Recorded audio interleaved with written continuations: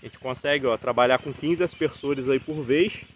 Salve, salve galera, beleza? Meus amigos, hoje vou mostrar para vocês a adubação que a gente usa nos piquetes. A gente vai ligar né, a irrigação para estar tá dissolvendo o adubo. Mas antes, né pessoal, vou tocar o gado pro curral para eu poder né, desligar o choque. Porque para fazer irrigação eu preciso né, desligar o choque. Elas entraram né, hoje nesse piquete e a gente vai né, fazer a adubação do piquete de trás ali que elas saíram. Vamos, vamos, vamos. Vai tocar elas lá pro curral para eu poder né, desligar o choque e movimentar a irrigação e mostrar para vocês. Mas vou falar né, qual a adubação que a gente usa aqui nos piquetes, a quantidade né, que a gente gasta, tudo direitinho, né, o peso aí do adubo, mostrar tudo aí para vocês. É só botar elas lá no curral e desligar o choque. Pessoal, esse aqui foi o piquete né, que a gente tirou elas hoje. A gente está aplicando um adubo, eu já subi aplicando, vou mostrar aqui o adubo. Agora só falta aplicar né, essa parte aqui descendo. E esse aqui é o piquete da frente, né, que elas estão pastando. A gente vai ligar a irrigação aí, vou mostrar para vocês. Como eu já falei, né, a cerca elétrica passa junto com a rede, né, com a irrigação. São aspersores aí Agropolo NY30. A gente vai ligar eles aí, vou mostrar para vocês. Meus amigos, o adubo que a gente está usando Pessoal, a gente está usando dessa vez um NPK, um 300019, né? No caso, ele não tem fósforo. É realmente um pouco né, de potássio aí e ureia. Eu acrescentei, meus amigos, mais 30% aí de ureia, essa ureia branca. Então esse branquinho que vocês estão vendo é a ureia, junto com esse NPK 3019. Por que né, dessa intenção? É para repor, pessoal, um pouquinho de potássio. Mas, né, em suma, a maioria aí vai ser realmente nitrogênio. Nutriente aí que vai dar essa arrancada no capim. No último pastejo a gente não fez aplicação de nenhum adubo. Então, né, dessa vez a gente vai fazer. Não é toda vez que a gente aduba. Depende muito aí da situação do clima, do capim. Uma coisa importante, para se aplicar adubo, terra seca na hora de aplicar, de preferência no final da tarde. E sempre após aplicar, né, a gente está ligando aí a irrigação ou com uma previsão de chuva certeira. Não é bom jogar com terra úmida e, né, pessoal, não adianta também jogar o adubo se não tiver a água depois, se não tiver irrigação ou uma chuva. Esse piquete aqui que a gente está né, jogando aí o adubo, elas ficaram três dias e um pouquinho. Algumas partes elas rebaixaram um pouco mais, algumas um pouco menos. Aqui na borda está um pouco mais alto. Alguns locais no meio que elas deitam, né, acaba rebaixando um pouco mais. Inclusive, aonde a gente acha né, esses locais, por exemplo, igual ali onde elas deitaram, a gente reforça um pouquinho, a gente joga um pouquinho a mais. É uma estratégia aí para ajudar o capim voltar. Mas o pastejo está muito uniforme, né? O BRS Curumi está aguentando super bem. A gente né, fez esse plantio desse capim há mais de um ano. Já são né, 10 ciclos de pastejo aí desde que a gente começou. Tá top, top. E meus amigos, a gente está aplicando aqui cerca de 7,2 kg né, de adubo. Eu pesei ali, é sempre nessa faixa de 6,5 kg a 7 kg de adubo que a gente aplica. Geralmente a gente usa mais a ureia pura, mas dessa vez né, a gente vai aplicar esse NPK para entregar um pouquinho aí de, de potássio no, no pasto, né, para repor um pouquinho aí do nutriente.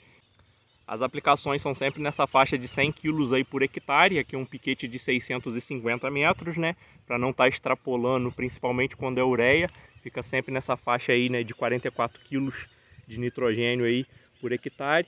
Não adianta jogar muito nitrogênio em uma vez só, né, tem que ser fracionado. Aqui a gente faz, né, uma aplicação a cada dois meses, dependendo se precisar, todo o ciclo pode ser feito. Nesse setor aqui é a primeira vez que a gente faz né, nessa temporada aí de verão, desde que as chuvas começaram. Mas a chuva deu uma pausa aí agora, a gente vai aplicar hoje e vou ligar a irrigação e mostrar aqui para vocês também uma dica extra.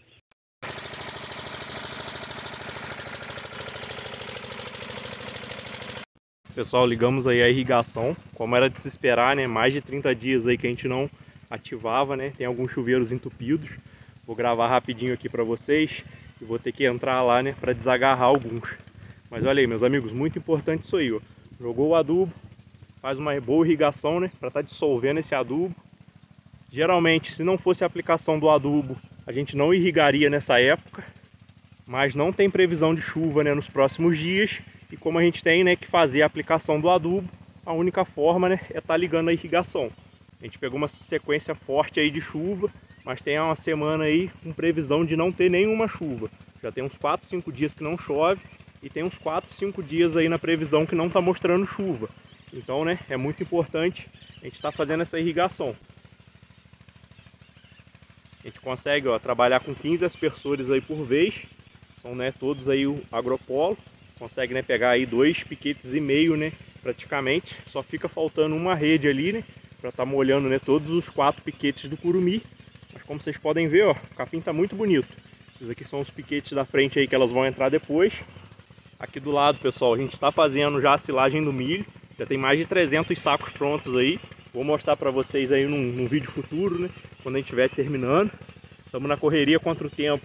Que as maritacas, né? Atacando firme agora. Estão comendo já, né? Então tem que acelerar. Mas olha só. Que show. Tá aí, meus amigos. Adubo, né? Colocado. Irrigação, né? Toda funcionando. Fui lá, desagarrei alguns, né? Pessoal, o que, que é importante? Meus amigos, adubação, irrigação, tudo isso é uma intensificação, é um ganho, mas a gente sabe que não é a realidade, não é algo que a gente consiga fazer em toda a propriedade. Mas tem uma coisa, meus amigos, que dá para fazer em toda a propriedade, que é o manejo da pastagem, meus amigos.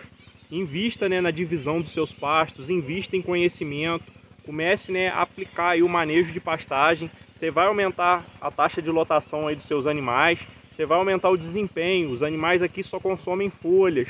Quando começa a ficar ruim o piquete, eles já passam para o da frente. Então isso aumenta o consumo de matéria seca e o ganho de peso. Então, né, irrigação, adubação, às vezes não vai dar para fazer em todo lugar. Sendo, né, que existe adubação, pessoal, de reposição. Essa, né, é obrigatória você fazer aí, senão seu pasto vai acabar degradando. Mas, meus amigos, vamos investir, né, no manejo aí da pastagem. Vocês viram lá, né, como os animais estão bonitos. Aí cerca de 40 dias que chegaram, já ganharam bastante peso. E olha só que pasto, né, eficiente, que pasto bacana. Quando a gente joga, né, adubo no pasto, a gente está jogando, né, proteína na barriga dos animais, pessoal. Essa folha bem nutrida, isso vai converter aí em ganho de peso a mais para os animais.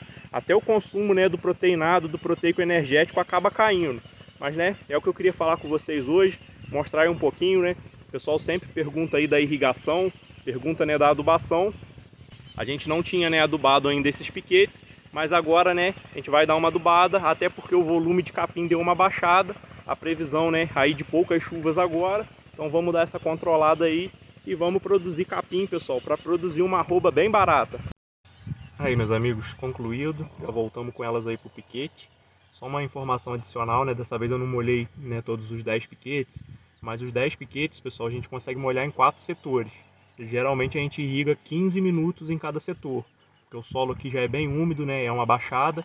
Esses aspersores jogam até 3 mil litros hora cada um, né? A nossa bomba aí joga mais de 30 mil litros hora. Então a gente consegue né, fazer a irrigação dos 10 piquetes, né, que são 7.500 metros aí quadrados, em coisa de uma hora. Nossa bomba né, é uma bomba FAL lá com motor a diesel. O consumo é de 800 ml a 1 litro de diesel por hora. É um consumo bem pouco, né? Então cada irrigação dessa daí acaba que fica bem barata, né? O sistema é caro, mas a irrigação em si é bem barata. Valeu meus amigos, forte abraço e até o próximo vídeo, se Deus quiser.